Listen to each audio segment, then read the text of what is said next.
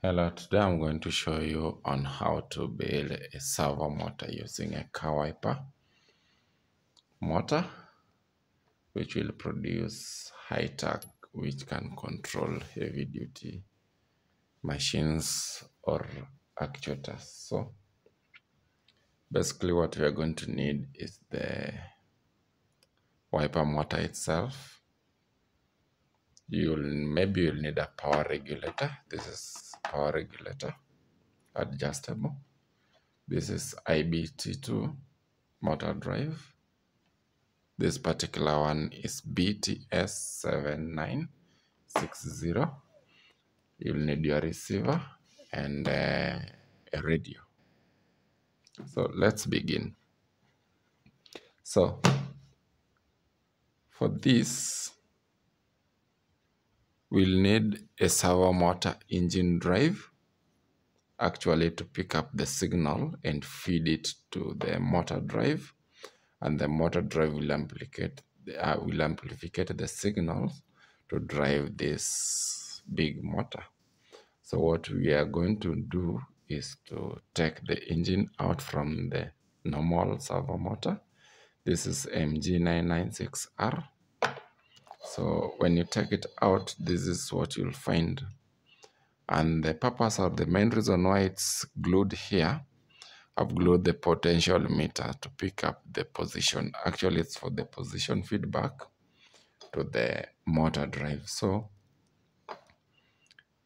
actually, with the sensor cables, it will go direct to the receiver. This, the, the, these two wires are supposed to be in the motor.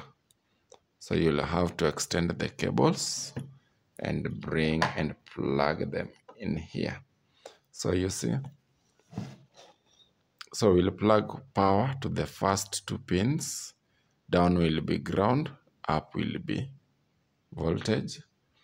Then we'll skip the two pins, which is, which is in the second column. We'll go to the third the, the third, both pins will plug in the positive of the power feed, feed, feed in, feed in cable. Then for the motor, we'll plug in the last pin. So let's do this way. We plug one cable to the top side, other cable below.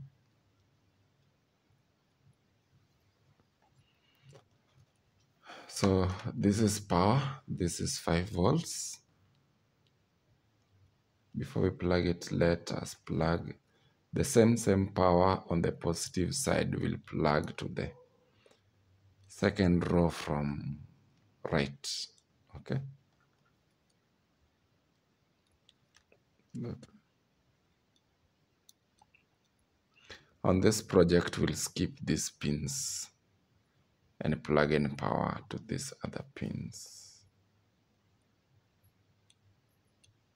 Good.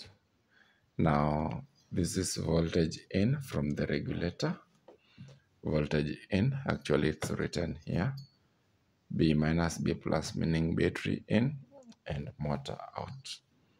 So this is how the connection is as simple as such. So this is the potential meter feedback, which will send the actual position signal to the motor drive. Now let's test it. Let's turn everything on.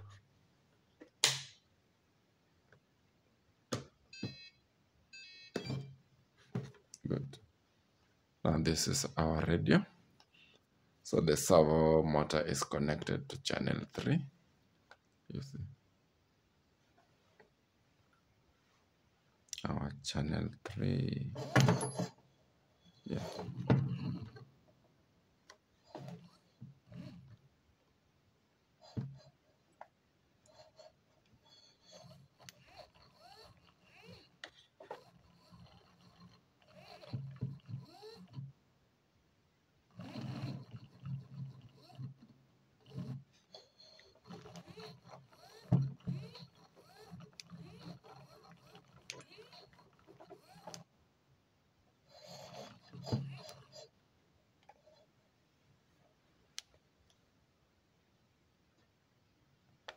Thank you for watching.